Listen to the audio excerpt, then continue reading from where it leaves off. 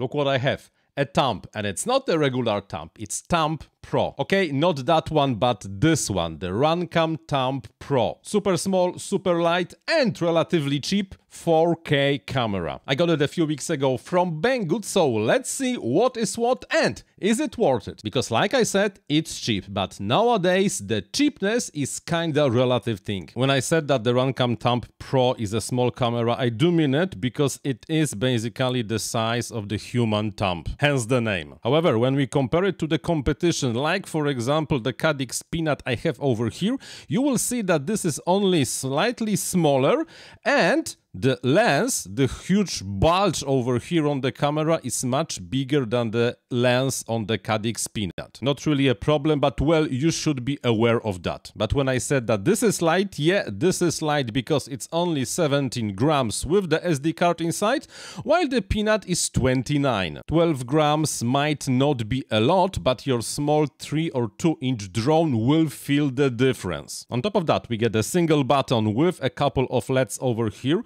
the cover that holds the SD card. And by the way, this cover does not really look like something that, well, is securely attached in place, you kinda should expect that after the crash this cover might well just get lost. And the reason that this thing is so light is because there is no battery inside. There is a single connector over here that you can use only to power the camera from 5 volts or power and steer the camera from your flight controller because this is a serial port. The camera of course works with the standard Runcam protocol so majority of the flight controllers work just fine. And that's that. There's nothing else. It works only if connected to the external power source and basically is only able to record the image. There is no Wi-Fi, there is no Bluetooth, nothing like that. You just put the SD card inside, hit the button and your flight is recorded. Oh, do me a favor, hit the like button and write in the comments on what you think about the Runcam Thumb Pro because I know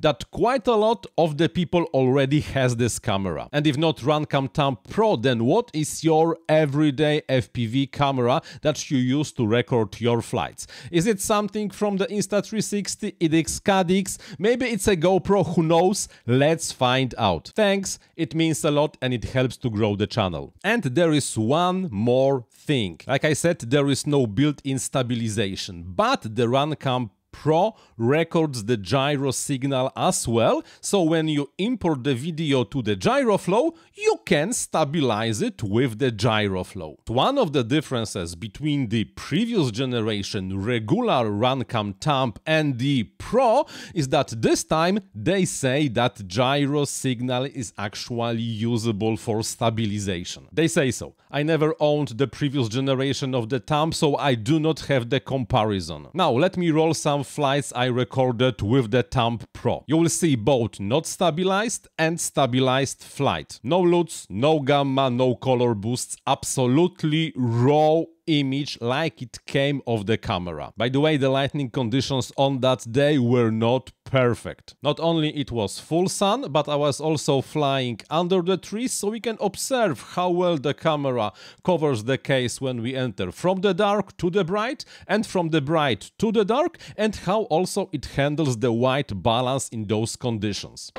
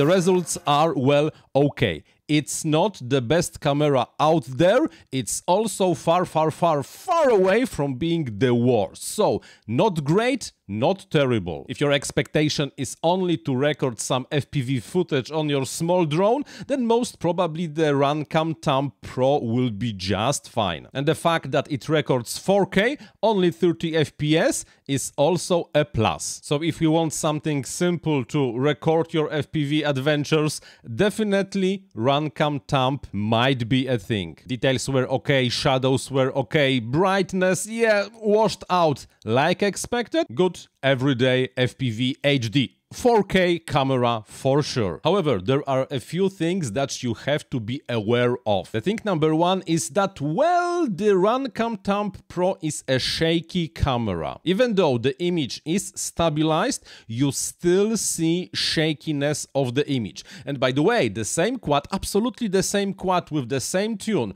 when recording with the Caddx Peanut is much less shaky. Maybe it's the hardware issue, maybe the fact that I got a version without without the ND filters, so the shutter had to be pretty short, but definitely it is shaky, even after stabilization with the gyroflow. But I bet getting the version with the ND filters is really a must if you intend to fly during the full sun conditions. And the second thing you have to be aware of is that the Runcam Thumb Pro is the FPV only camera. Because it has no built-in battery, you cannot use it with external power source. There is no Bluetooth, there is no Wi-Fi, you cannot download the videos to your smartphone and I don't know, share it on the TikTok, whatever. This is only to install on your drone, car airplane, whatever. And as long as we remember that this is a single usage camera only to record your flights everything should be just fine. Oh, and one more thing you have to be aware of. The 2 gigabytes file limit is a thing with the Runcam Pro. If you record with the 4K, you have to expect that you will record only approximately 4 to 5 minutes of the flight. Then the recording just stops and rest of your flight is basically lost. And that's the Thumb Pro that was provided by Banggood. Now, here's the next video you should watch. In the meantime, I'm Paweł Spychalski. Thank you very much for watching and, like always, happy flying!